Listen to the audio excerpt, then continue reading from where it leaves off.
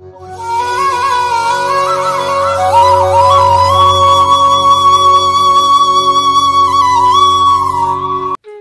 నమస్కారం. నేను మీ సౌజన్య. మంచి మనసుకి ఒక మంచి మాట అనే కార్యక్రమం ఇరవయో భాగానికి స్వాగతం. ముందుగా అందరికీ కూడా హనుమాన్ జయంతి శుభాకాంక్షలండి. తర్వాత మన పోయిన భాగంలో మనం ఏం తెలుసుకున్నామంటే శ్రీరామనవమి గురించి తెలుసుకున్నాం.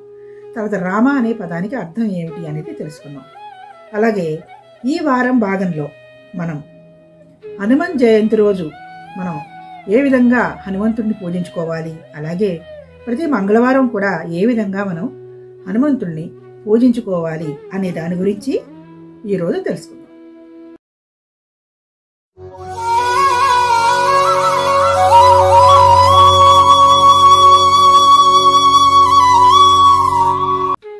హనుమంతుడికి పూజ చేయడం అంటే చాలామందికి ఎంతో ఇష్టం. ఎందుకంటే ఆయన బుద్ధిశాలి తర్వాత కోరికలు తీరుస్తాడు అని ఒక అందరికీ కూడా ఒక మంచి నమ్మకం. తర్వాత ముఖ్యంగా హనుమత్ జయంతి రోజు జనరల్గా అందరికీ తెలిసిన విషయం ఏంటంటే ఏ దేవుడికైనా జయంతి అనగానే మనం ఆ దేవుడి విగ్రహాన్ని ముందుగా పెట్టుకుని ఒక పీట వేసుకుని ప్రత్యేకంగా ఆ విగ్రహాన్ని పెట్టుకుని మనం పూజించుకోవడం మనకు అలవాటు. సపోజ్ లక్ష్మీదేవి పుట్టినరోజు అనుకోండి లక్ష్మీదేవిని తీసుకొచ్చి అక్కడ పెట్టుకుని పూజ చేసుకుంటాం. అలాగే శివుడు పుట్టినరోజు అనుకోండి శివుడిని తెచ్చుకుని అక్కడ పెట్టుకుని పూజ చేసుకుంటాం. కానీ హనుమంతు జయంతికి మాత్రం ఒక ప్రత్యేకత ఉందండి. మనం హనుమంతుడిని ప్రసన్నం చేసుకోవాలంటే ముందుగా ఎవరిని ప్రసన్నం చేసుకోవాలి? శ్రీరామచంద్రమూర్తిని ప్రసన్నం చేసుకోవాలి. అది అందరికీ తెలిసిన విషయమైనా కొంతమందికి ఈ విషయం తెలియదు. వారు ఏం చేస్తారు? హనుమత్ జయంతి అనగానే లేదంటే మంగళవారం అనగానే స్పెషల్గా హనుమంతుడి ఫోటో కానీ ఏదైనా పెట్టుకుంటారు? లేదా ఒక విగ్రహాన్ని పెట్టుకుని అభిషేకాలు చేయడం? తర్వాత పూజలు చేయడం ఇవన్నీ చేస్తూ ఉంటారు. కానీ మనం ఏం చేయాలి అంటే రామ పరివారాన్ని అక్కడ పెట్టుకుని అందులో ఎవరెవరు ఉండాలి అంటే శ్రీరామచంద్రమూర్తి సీతమ్మ వారు తర్వాత లక్ష్మణ స్వామి ఉండి రాముడి వారి పాదాల దగ్గర హనుమంతుడు ఉన్నట్టుగా ఉన్న ప్రతిమ ఉన్న విగ్రహాన్ని కానీ అయితే ఫోటోని కానీ లేదంటే మనకి దాన్ని ఏంటి అబ్- మనకి అభిషేక అభిషేకాలు చేసుకోవడానికి మనం ప్రత్యేకంగా ఒక ఒక స్థానం ఉంటుందండి. దానికి మనం ప్రత్యేకంగా అమ్ముతూ ఉంటారు. అభిషేకాలకి ప్రత్యేకంగా ఒక ప్లేట్ ఉండి దాంట్లో విగ్రహాలు కదలకుండా ఇలా పెట్టేసి ఉంటారు అనమాట రామచంద్రమూర్తి సీతమ్మవారు లక్ష్మణస్వామి ఆంజనేయ స్వామి అలా ఉంటుంది.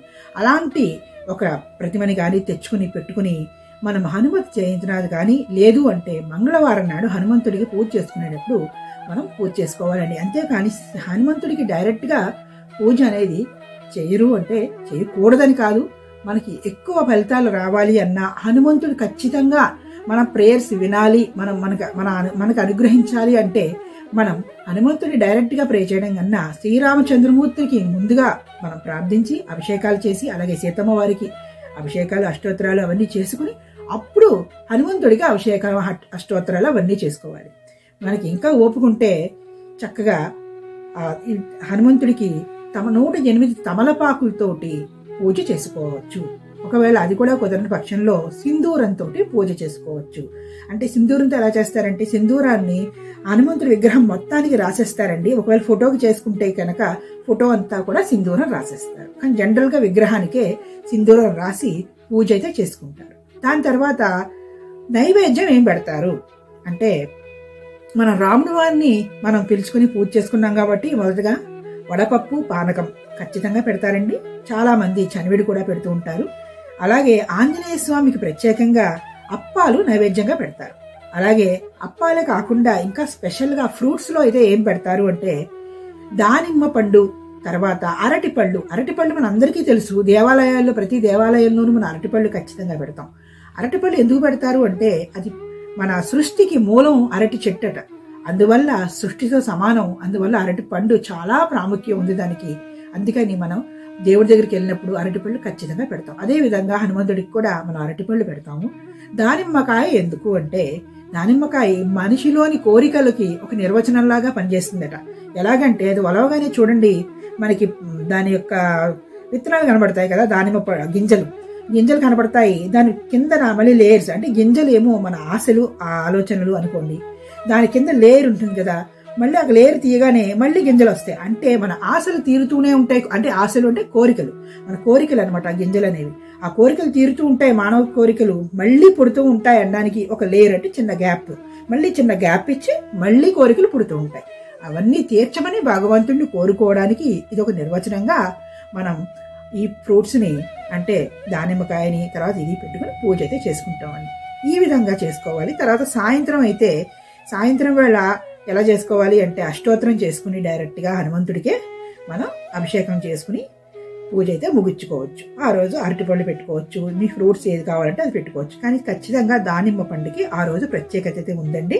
అలాగే ప్రతి మంగళవారం కూడా ఇలా దానిమ్మ పండు నైవేద్యం పెట్టుకుని దేవుడిని కోరుకుంటే తప్పకుండా అన్ని కోరికలు కో తీరతాయని మన పెద్దలు చెప్తూ ఉంటారు. చూశారు కదా ఈ వేళ భాగం? మీకు నచ్చింది అని అనుకుంటున్నాను. ఒక మీకు ఈ వీడియో కనుక నచ్చితే తప్పకుండా లైక్ చేయండి షేర్ చేయండి సబ్స్క్రైబ్ చేసుకోండి. పక్కనే ఉన్న బెల్లైకాన్ క్లిక్ చేసుకోండి. అప్పుడే నేను మీకు నేను చేసే ప్రతి వీడియోకి అప్డేట్స్ అయితే వచ్చేస్తూ ఉంటాయి. మళ్ళీ వచ్చేవారు మళ్ళీ ఇంకొక మంచి విశేషంతో తప్పకుండా కలుద్దామండి అంతవరకు కూడా అందరికీ కూడా నమస్కారం. మళ్ళీ తప్పకుండా మళ్ళీ వచ్చేవారం కలుద్దాం.